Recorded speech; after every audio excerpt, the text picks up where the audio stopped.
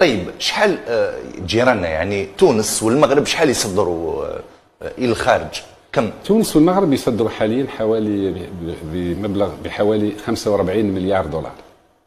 يعني تصور إذا عملنا مقارنة مليار 25 45 مليار. وهذا 45 مليار ما جاتش ما طاحتش من السماء. هما ما يصدروا لا نفط ولا غاز. يصدروا آه، ثياب يص- يصدروا مواد غذائية يصدروا يص- يصنعوا في بلادهم ويصدروا. يعني يعني الصادرات نتاعهم متنوعة.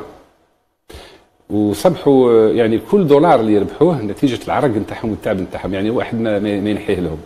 ما همش مرتبطين ب بالريع، بال- بالنفط. بال- بالأسعار بالأسواق النفطية. نعم. يعني ما همش خايفين هما تعبوا ولكن اليوم دخلوا في المليح كما نقولوا معناتها من رايحين يزيدوا في ال- في الصناعة ويزيدوا في, في, في الإنتاج ويزيدوا في التصدير. شحال اللي لزمنا إحنا من سنوات باش نلحقوا هذا إذا الحد كان هذا؟ عارين على ذرعينا من اليوم بداية من اليوم وإذا كان آه، آه، خذينا بعين الاعتبار الحاله حالة الاقتصاد نتاعنا والصناعة نتاعنا ربما 50 سنة باش نلحق الدرجة اللي لحقوا لها هما الآن. هذا خارج قطاع المخلوقات.